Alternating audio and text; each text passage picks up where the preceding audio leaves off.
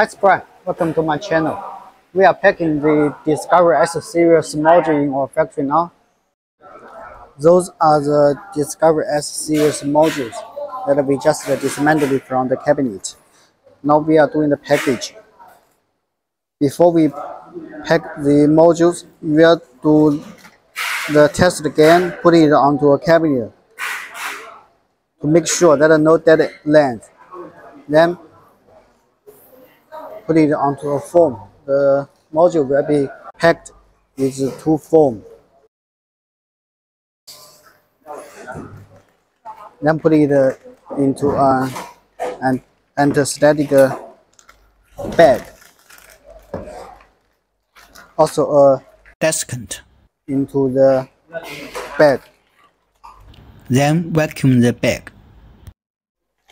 When we finish the vacuum work, then we will put the modules into the carton box.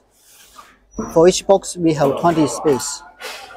But in fact, we will put uh, 16 modules. And we know that uh, for one cabinet, we will need uh, four modules. For 60 modules, we will assemble four cabinets. So it will be easy to count.